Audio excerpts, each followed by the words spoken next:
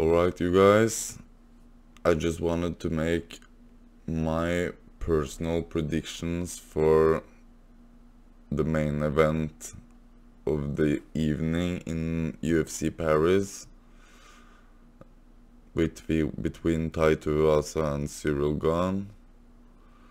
And you guys, my money, I have a ticket, I'm betting Tai Tuivasa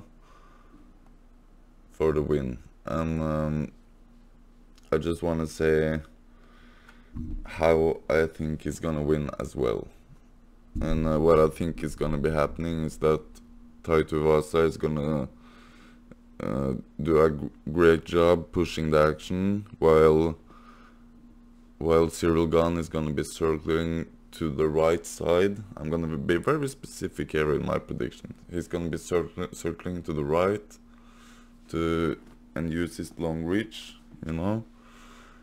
And um, what's gonna happen is uh, Tuivasa is gonna pin him down, and it's gonna be over and out.